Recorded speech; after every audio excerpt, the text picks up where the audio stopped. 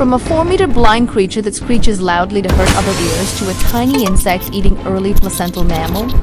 What happened if Bat-99 evolved from natural selection? Basal, eutherians, tiny early placental mammals that were nocturnal, agile, and capable of climbing. Cretaceous period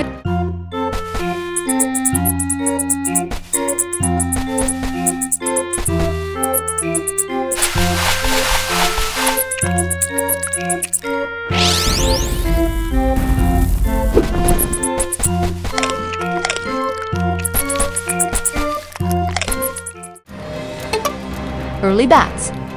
First true bats capable of sustained flight using echolocation to navigate dark forests and caves. Early Eocene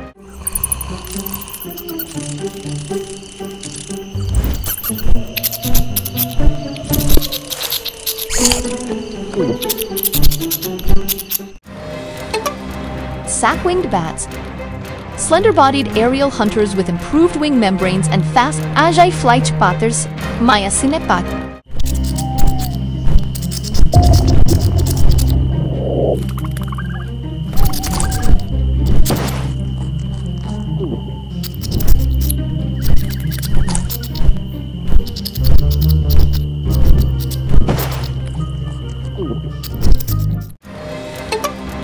Miocene epoch. Gymnosticlidurus. Pale, ghost white bats with exceptionally silent wing beats specialized for stealth hunting at night. Miocene epoch.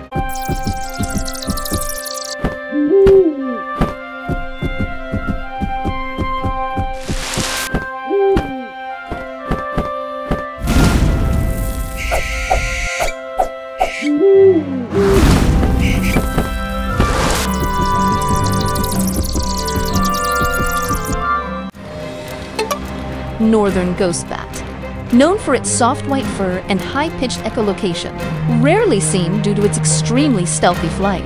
Now,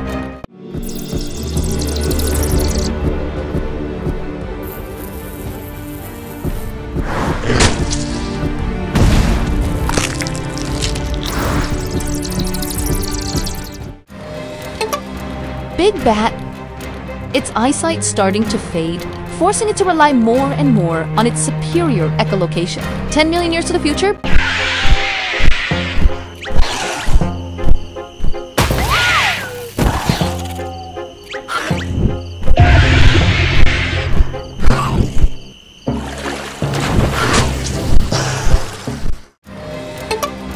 Bat 99. Fully blind but possessing sensitive hearing, it screeches loudly as a weapon to hurt other ears. 20 million years to the future.